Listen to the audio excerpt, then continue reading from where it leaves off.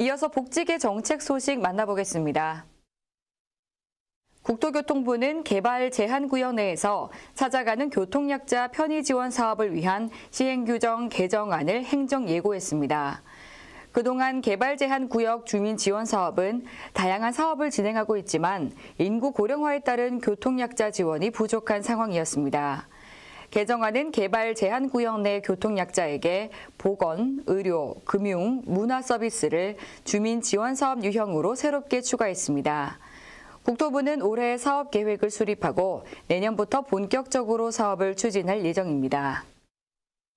보조금 24를 통해 난방요금 인상으로 어려움을 겪는 기초생활보장수급자와 저소득 가구, 차상위 계층, 장애인 등에게 지원하는 각종 정책을 쉽게 확인할 수 있습니다.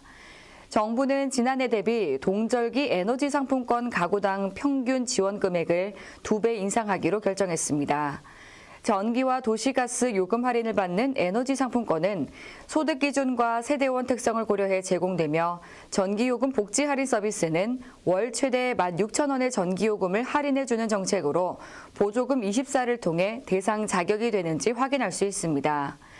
이 밖에도 다양한 난방비 지원에 대한 자세한 혜택과 신청 방법 등을 보조금 24에서 안내받을 수 있습니다.